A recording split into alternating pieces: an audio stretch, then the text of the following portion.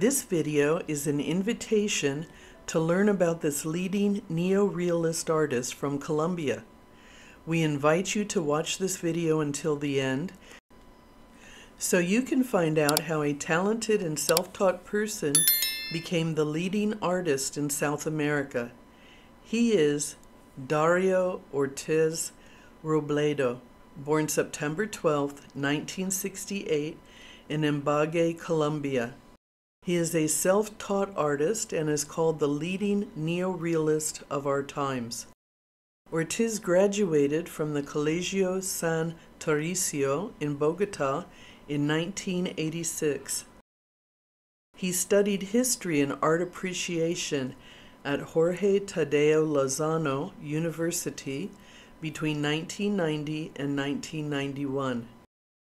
Since 1995, he has been a contributor to the Ibague newspaper El Nuevo Dia.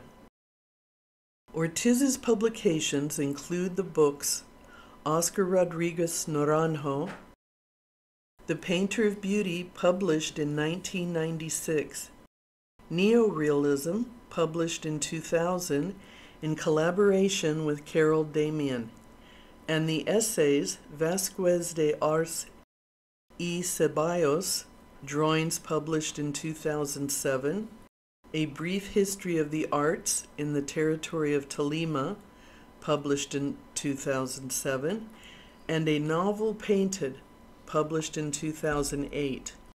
In 2003, Ortiz founded and is the head of the Museo de Arte del Tolima in Ibague. Ortiz is a well-known respected Colombian neo-realist artist known for his contemporary compositions based on classic subjects. He is a leading figure in the renaissance of contemporary narrative art in Latin America. His paintings are complex interplays of forms and space that document an emotional as well as a physical process and are as disturbing as they are convincing in their reality, said art critic Carol Damian, the director of the Frost Art Museum of Miami. The dandyism to Hollywood and modus solid classic that is reflected in him, I do not believe that it is possible to create it in this nation. Neorealism means the intimate study of nature, deliberate objective transposition, good craftsmanship, and a love of the medium. These, with a continued renewal with life, for example, a collaboration of the artist and nature, must result in a strong individual and interesting interpretation of life. Neorealism in painting was established by the ex-Camden Town Group painters, Charles Ginner and Harold Gilman, at the beginning of World War I. They set out to explore the spirit of their age through the shapes and colors of daily life. Their intentions were proclaimed in Ginner's Manifesto in New Age on January 1, 1914, which was also used as the preface to Gilman and Ginner's two-man exhibition that year. The Camden Town Group held just three exhibitions in 1911 to 1912, but its name has become synonymous with a distinctive period in the history of British art before the First World War. Named after the area in North London where a number of the artists lived and worked, the group aimed to reflect the realities of modern urban life. It attacked the academic and warned against the decorative aspect of imitators of post-impressionism. The term neorealism in the history of contemporary art arose to unite several art movements that appeared and developed throughout the 20th century.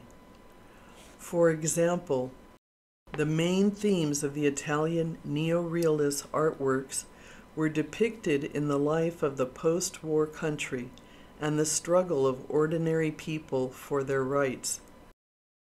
Artists who advocated humanism and equality, the value of simple moments of everyday life, saying about the heroism of their people, who desperately resisted fascism during the war years. Their works were characterized by a dynamic composition, expression, and saturated colors. The ideas of the new front of the arts were reflected in the works by artists from other countries, like the Mexican Diego Rivera, the German Fritz Cremer, and the Frenchman André Fougeron. We believed Dario Ortiz of Colombia is a good and successful example in our times. Recently, Yoshiharu Sasaki, assistant director of the Iwaki Art Museum de Japan, wrote, It would be possible to be said that the painting of Ortiz is Baroque of the contemporary time, constituted by the greatness and of a powerful subject, in addition, dramatic to a hidden tone, harmonizing with the privacy and the audacity of a traditional interpretation to the contemporary. Works of the Colombian artist Dario Ortiz is included in the collections of the Museum of Latin American Art in Los Angeles, California, the Presidential Palace of Bratislava in Slovakia, the Civic Museum of Urbano Terme in Italy, the Museum of Antioquia in Medellin, the Museum of Modern Art of Cuenca.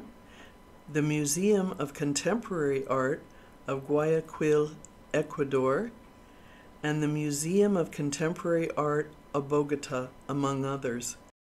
In 2003, he founded the Museum of the Art of Tolima, and since 2007, he has been a member of the Academy of History of Tolima. Ortiz divides his time between Bogota and New York. Thank you so much for watching our video. It means the world to us. See you in the following video.